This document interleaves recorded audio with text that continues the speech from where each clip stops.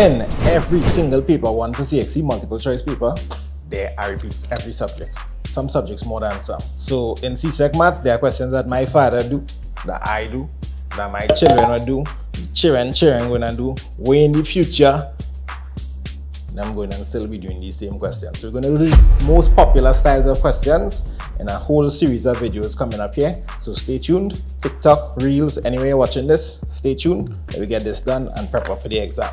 And see if you can do it too. So this is the question. We have a rectangle whose area is 53.6 cm squared and they say they multiply the length by 4 and the width is halved. And now they want to know the new area. And you see this already? Do you know the answer? Do you know that a lot of people get it wrong? Let's check it out original rectangle. Multiply its, its length by 4. So now we have 4 times the area as well. But half the width. So how much area of the original rectangle do we have? That's a half of the original and another half make one and another half and another half. We have two times the area of the original rectangle which was 53.6 so the new area so, so what you're doing, press follow, press follow, subscribe, stay connected. We're gonna go through all the popular questions. Another one of the most popular ever repeated CXC style question formats. Can you do it? Here we have a Venn diagram above. The shaded area represents, we want to know what the shaded area means. The answer is one of these. To do this question, you just need to understand what these little tiny dashes mean. These dashes mean out of. Well, in maths we call it complement, but it's like out of. If this circle is A and inside this circle is timing, and I say you are A complement, that means you out are timing. So look at the diagram. Right now, everything that's shaded is out of P.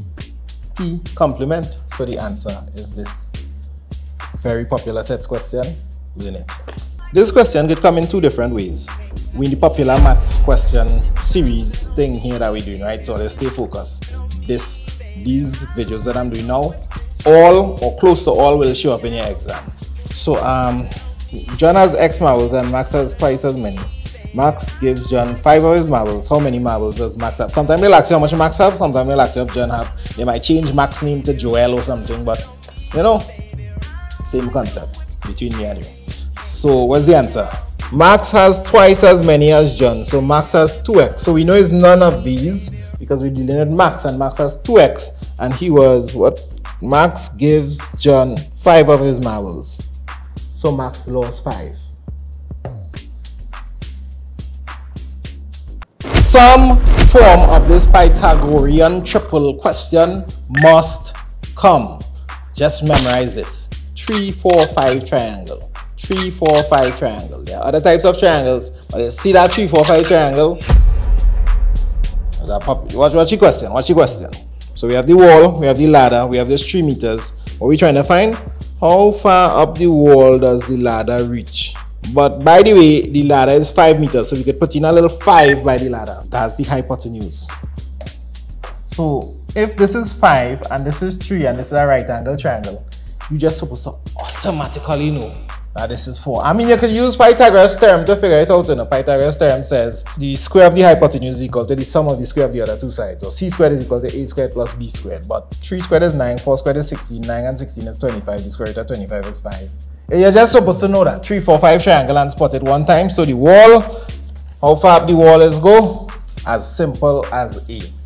So if you're in memorizing that 3, 4, 5 triangle, you're playing with a mark in your exam that's going to come. Check me out for the more popular questions in the next video. Wow, while you watch this question here, see if you can do this question. It's a very popular question though. Eh? Um, a, B, and C they are parallel. Which of the following best describes the relationship between X and Y? Oh wait, this is called a free max. This is a, this is called free max, ladies and gentlemen. So pick your answer now. Why is you picking your answer? Let me teach you something that will just earn you one star marks in CXC, right? I'm teaching you this in like one minute. This is a parallel line. Well, a pair of parallel lines. If I draw a line across like that, that's called a transversal. And what it does is it creates two situations that are identical. Meaning this angle here is equal to that angle there. We actually call them corresponding angles. the green angle that I just drew is also equal to this kind of green, this special green here. So this is actually equal to that. We call it alternate. Or if I put it here, it's still equal. So if this was 60 degrees, everything in green here is also 60 degrees. This angle to this angle is called vertically opposite. This angle to this angle corresponding. This angle to this angle, alternate angles. And there's a little more like these similarly will be equal to each other. All the angles that I put in red here. If they if this was 60, if this was 60, this would be 120. So everything in red here would be 120. So this angle is you know, vertically opposite. The same rules apply, but there's a little relationship between these two. We call them co-interior angles, and they always add up to 180 degrees, 120 plus 60. Or angles in a straight line would add up to one, one. Did I say 160? 180 degrees, 180 degrees. Now you know. And what was the answer for this question? Of course, x is going to be equal to y because they are alternate angles. And that is it. Max collect in the exam we're doing the most popular questions. We go back and check all the other videos and make sure you memorize these because chances are close to all, if not all of these, will show up in your exam. Love and blessings. Simple question. Can you answer this? Even if you're not doing CXC right now, do you remember how to do this? It's, it uses the laws of indices. And I'll just jump straight to this. This is going to be the shortest video in the most common CSEC maths questions style that we are doing, right? So 3x squared multiplied by 2x cubed. The 3 and the 2 will multiply by each other. They are just the integers, the coefficients. Um, so 3 by 2 is 6. Hey, phone in the background. Pay attention, pay attention. x squared by x cubed. Well, you don't multiply the 2 by the 3 there. When you're multiplying powers like that and they have the same common base, that's a rule in indices. You add the powers. You remember that rule? So it's really 2 plus 3 is 5. So who looking like the answer there, boy? Not you, not you. Oh, you reach 72. What's that way? How are you 72? Anyhow, forget that. That's the wild answer. This is the correct answer. You got that? If you get that, big up yourself. I'll press like on the video. And I think I have a few more of the most common CSEC maths questions here, you know. Uh, the themes of the questions that you should be looking out for. Actually, I just have one more.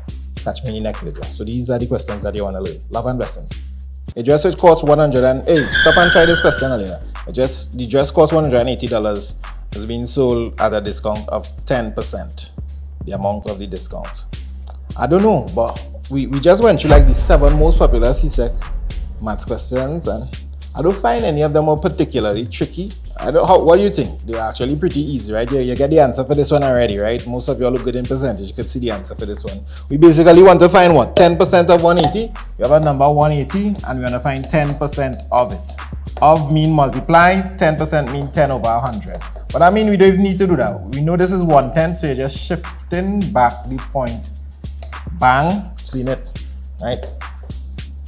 Congratulations, or we could probably do this. So here what? What next all you want to see on TikTok? You want to see some more some more of these multiple choice questions prep for the paper one or you want me to start off topical revision? What topic is the most miserable topic for you in CXC? It was nice. Love and blessings.